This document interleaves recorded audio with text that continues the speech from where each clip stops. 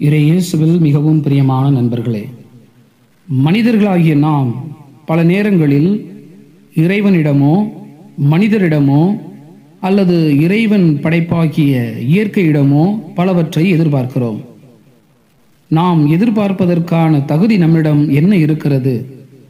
அதற்கான பொறுப்புகள் கடமைகள் பணிகள் என்னென்ன என்பதை சிந்திக்க பொதுக்காலம் இருபத்தி ஒன்பதாம் புதன் இறைவார்த்தை வழிபாடு அழைப்பு விடுக்கிறது. இன்றைய முதல் வாசகத்தில் புனித பவுல் எபேசியருக்கு எழுதிய திருமுகத்தில் கடவுள் நம்மை எவ்வாறு தேர்ந்து கொண்டார் என்பதன் மறைபொருளை வெளிப்படுத்தி நம் ஒவ்வொருவரையும் தகுதிப்படுத்துகிறார். எபேசியருக்கு எழுதிய திருமுகம் மூன்றாவது அதிகாரம் பதினாறாவது இறை வார்த்தையில் நாம் கிறிஸ்துவின் உடன் உரிமையாளரும் உடலின் உறுப்பினரும் வாக்குறுதியின் உடன் பங்காளிகளும் ஆகிறோம். என்று கூறி நம்மை தகுதிப்படுத்தி அவரோடு நம்மை இணைத்துக் கொள்கிறார் இன்றைய நற்செய்தியை வாசித்து சிந்திக்கும் போது பணியாளன் தன் பொறுப்புகளை எவ்வாறு கடைபிடிக்க வேண்டும் என்றும் அவனிடம் என்னென்ன எதிர்பார்க்கப்படும் என்றும் இயேசு உவமை வாயிலாக கூறுகிறார். குறிப்பாக லூக்கா நற்செய்தி பனிரெண்டாம் அதிகாரம் நாற்பத்தி எட்டில் மிகுதியாக கொடுப்பவனிடம் மிகுதியாக எதிர்பார்க்கப்படும் மிகுதியாக ஒப்படைக்கப்பட்டவனிடம் மிகுதியாக கேட்கப்படும் என்று கூறுகிறார். நம் வாழ்வில் இறைவனிடம் எதை எதிர்பார்க்கிறோம்? இறைவனுடைய கொடைகளையா? ஆசீர்களையா? குண நலன்களையா மன்னிப்பையா? அன்பையா? எதை எதிர்பார்க்கிறோம்?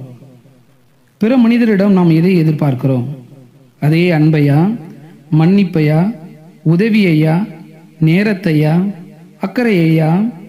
அனுபவத்தையா? பங்களிப்பையா? உத்தரவையா? பணியையா? சேவையையா? எதை எதிர்பார்க்கிறோம்? இறைவனின் படைப்பை ஆகிய இயற்கையிடம் எதை எதிர்பார்க்கிறோம்? தவறாத பருவ மாற்றங்களையா?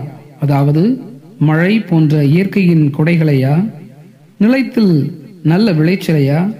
பிற உயிரினங்களின் உடன் உழைப்பையா? இதை நாம் எதிர்பார்க்கிறோம்? இவ்வாறு பல எதிர்பார்ப்புகள் நம் வாழ்வில் உண்டு.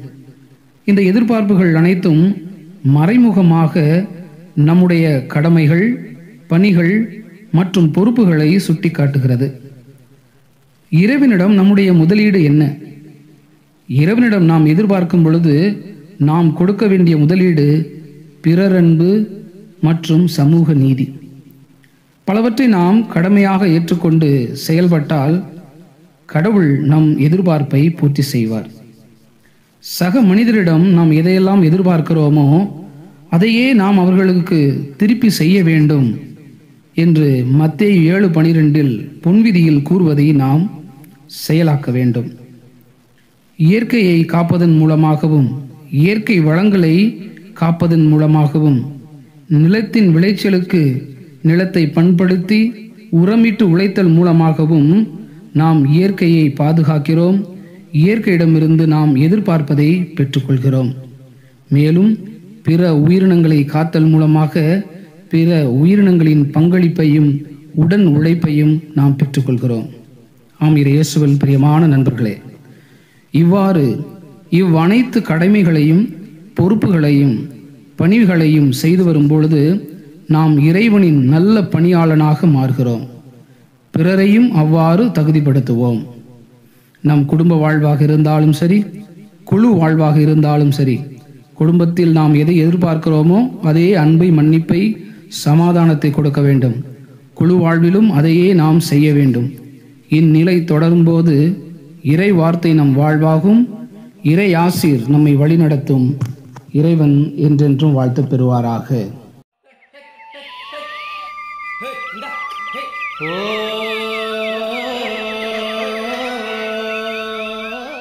மெய்ப்பனும் செய்தி நிறைவாக்கும் இறைவாக்கு